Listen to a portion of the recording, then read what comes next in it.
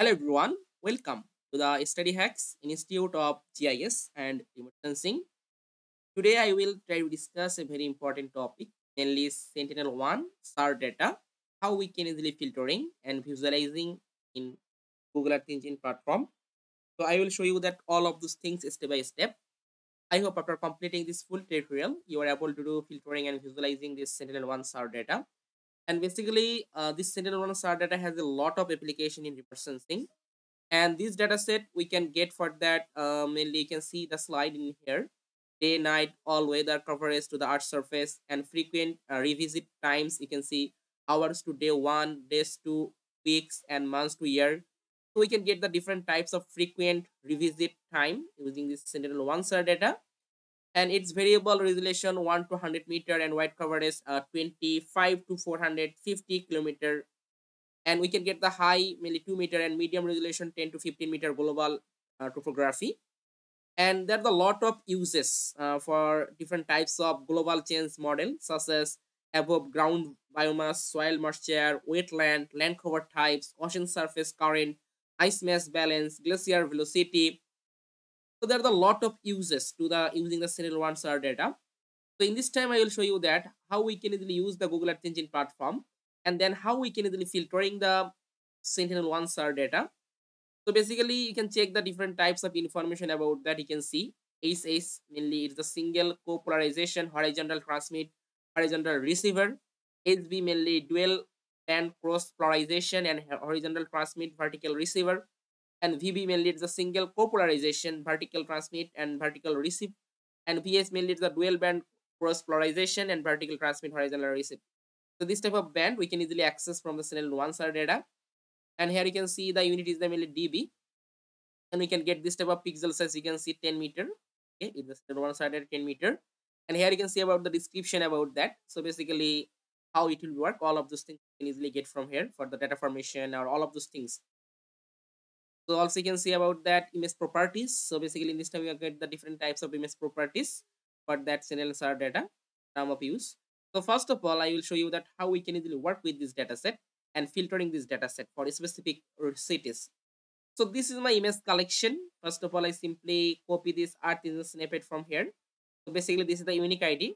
So this unique ID I simply copy from here, copy, and then paste in my code editor. So I just paste here and if you want you can put any name. So i just give a name. I put the name such as it's a sentinel. Suppose i put the name as a sentinel one. Okay so just i put this name. Sentinel one. And then this is collection i just store it in this variable sentinel one. So further this sentinel one i just uh, make the filtering. So in this time i need the sentinel one image collection for my specific suppose boundary such as Dhaka city, I simply import the Dhaka city boundary. And further, I simply put here that RY. I put the rename it as the RY. And in this time, I just simply filter. Filter by region, filter by time period, filter by image, uh, band. This type of thing I simply filter in here. So for that, I just take a variable. Put the variable name, suppose collection and then I simply call my image collection sentinel1 basically it stored my full image collection sentinel1 SAR data. I simply call and use a function mainly filter bounds function. Filter bounds with my study area which is ry I give the name as a ry and further I simply put here that filter date function for choose the specific time period of this image. So I put this image suppose year of 2021 I put this image year of 2021 2021 was uh, 1st January. Suppose from here year of 2021 December 31. I put this name frame look like that. And further I simply filter to get image with VV and VH dual polarization. Okay. So further I simply use a function filter. And how I can filter? I want to filter Earth Engine filter dot list contains and further I put at that transmitter receiver polarization VV.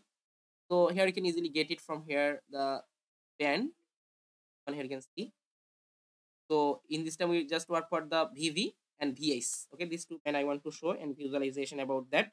And I want to filter the VV and VH dual polarization. So for that I have to use it uh, transmitter receiver. So just I simply write this in here. Basically it's called the transmitter. Transmitter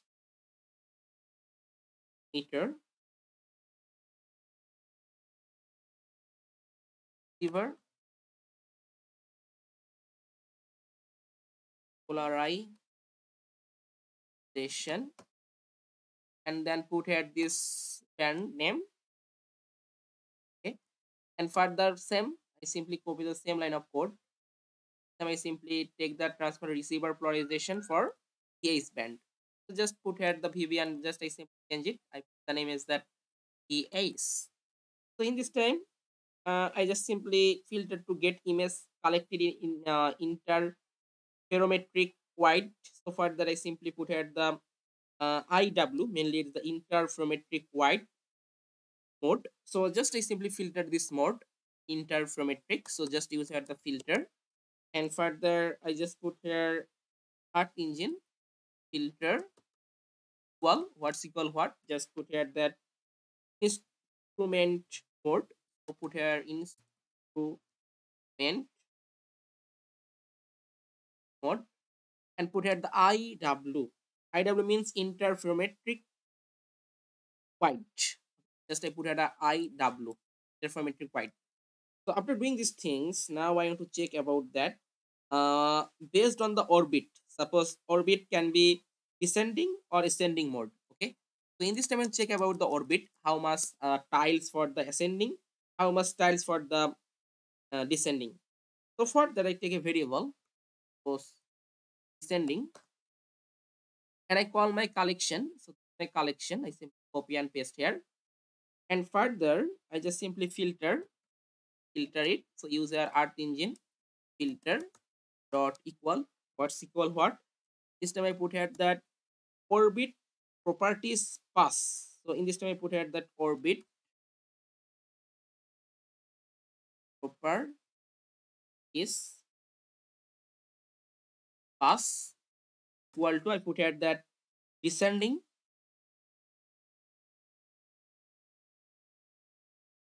descending and also put the same things I simply copy from here and paste keep the name suppose ascending. Just I put here this variable name ASC and collection filter. And this time I simply put here that ascending. Just I put here the ascending.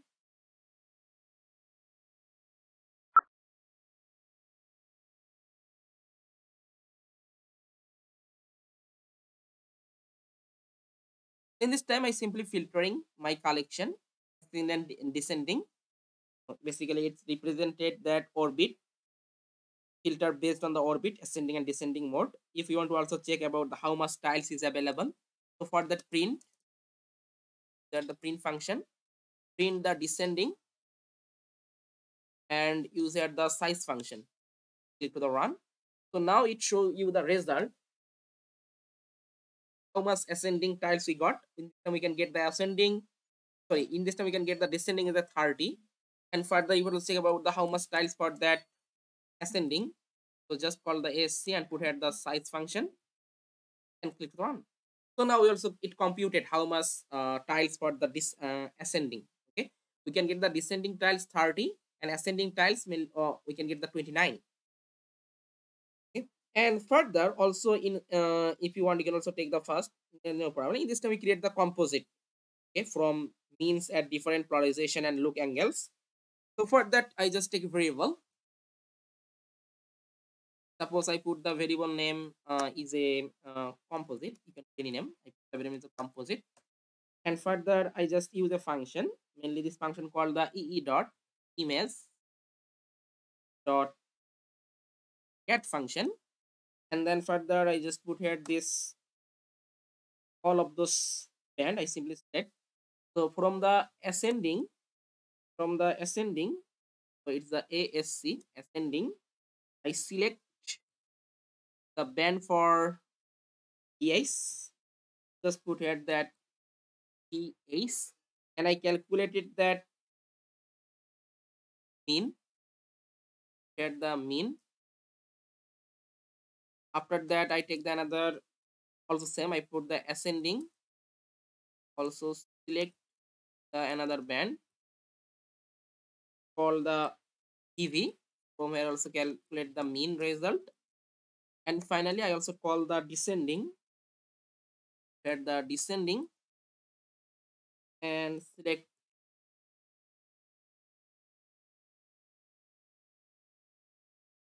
the select function select the mainly case band calculate the mean.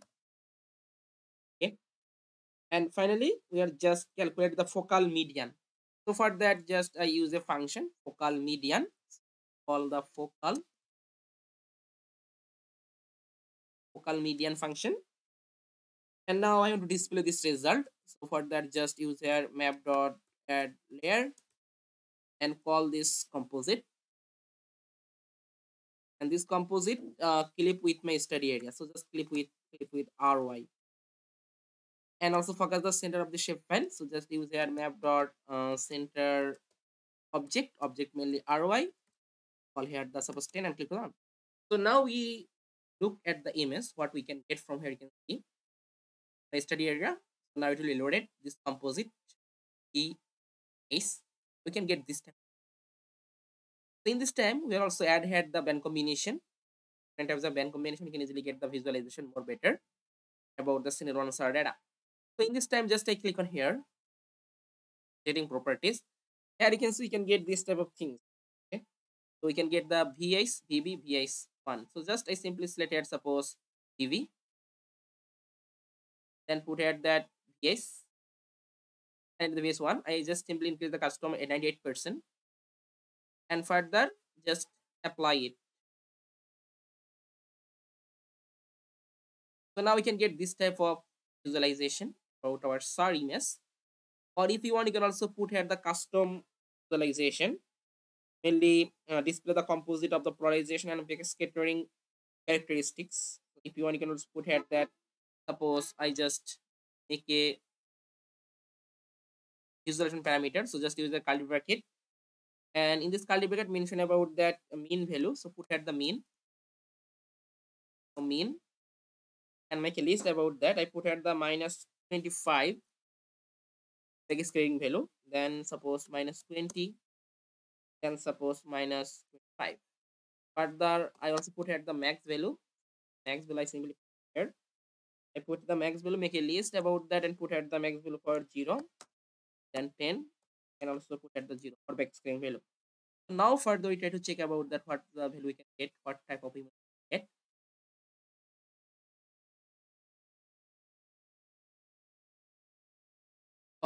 so now we can get this type of uh, imagery. When I put the back screen value, mainly VAs, VV and VAs, we can put this type of value, min and max. Then we can get this type of visualization about that SAR imagery. See? This is our final output you can get from here for the Sentinel-1 SAR imagery.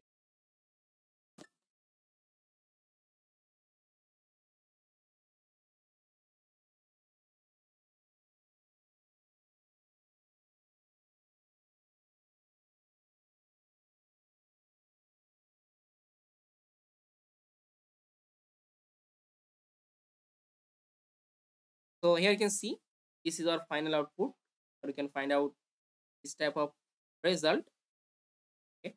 And now if you want you can easily export this sentinel-1 SAR data. And further you can also work with other type of software. Now in this time you can easily use this imagery for the different types of uh, work such as land use land cover classification as well also biomass modeling. A lot of use for that uh, the SAR imagery. There are a lot of uses can uh, further tutorial also try to discuss about this type of things here you can see this is the final product. You can easily export this type of imagery from here as well as you can also make the different types of analysis okay? You also try and further face any problem okay? The meantime I also give you an announcement for upcoming online training program on google earth engine platform.